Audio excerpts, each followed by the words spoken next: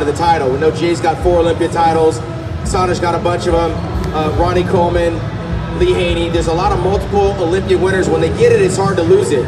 Uh, Phil Heath is going for a record-tying number eight this uh, September.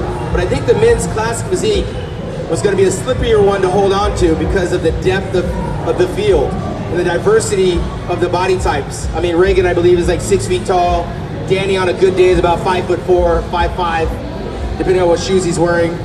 But you got a lot of depth in that division, and it's a title that even though Danny won it and lost it, the, the guys that he lost to were those guys are pretty much going to be battling it out again. You're still in the hunt. Some guys lose the title and they never get another bite at the apple. We're talking about that with Jay. Jay's the only guy to lose the Olympia after winning it and regain it. Danny, you're on that mission this year. You got eight weeks to do it. You're gonna have to go through the Young Buck uh, and Regan. But tell us what that did to you because you were kind of at a crossroads when this classic physique was developed. And then you came out the first time and you won it. It's almost like you got another bite at the apple in terms of your career. Yeah, no, definitely. You know, I've been in the scene for a very long time. I've been very blessed to have the big contracts with Weider, Met-Rx, EAS, all the major companies back in the late 80s, early 90s, and I wasn't even a pro. You know, I was doing what a lot of these guys are doing now on social media, not even competing, but being able to be an ambassador to the fitness industry.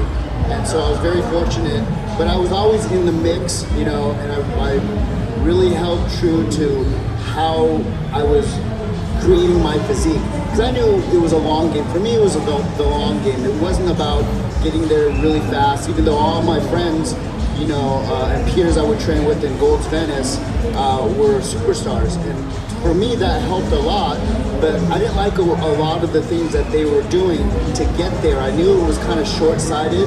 Um, and I would always study my physique and their physiques, and I knew the potential I had. Uh, uh I could do it, but I didn't want to be, uh, how would you say, like a, uh, a flame that burns out really fast. You know, the, the guys like LeBron and a lot of these other guys, even Shawn, you know, you can stay in the game and, and still look good and retire when you look good.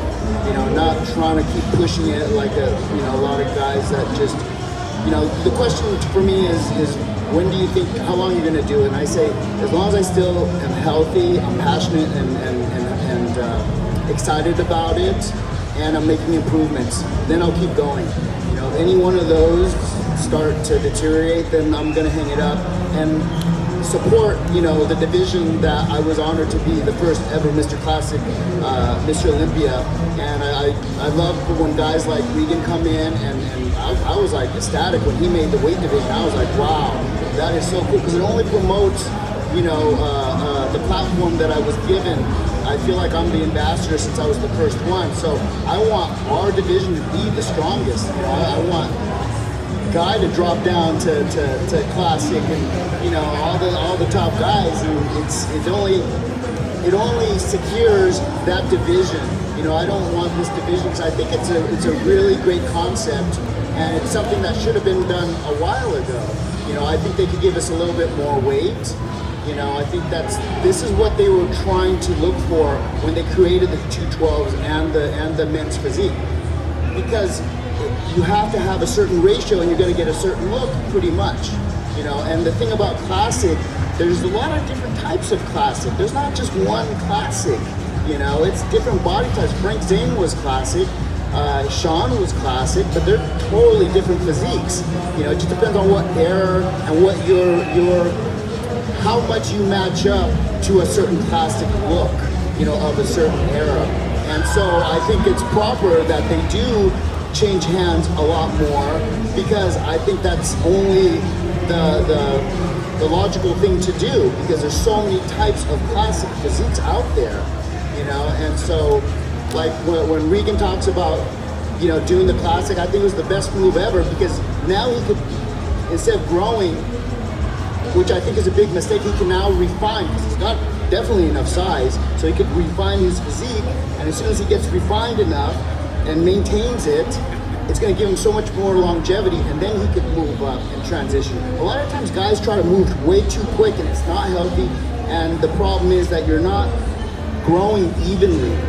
And, and, and, and it, the only thing is that, you know, maybe your midsection starts to grow too. So by, I think by him holding on to a certain division, refining everything, and then moving on and growing, he's going to have a lot of longevity. His physique's going to be so much more refined and and uh, and just be able to be competitive much longer and healthier too. Yeah, what you'll find the comment.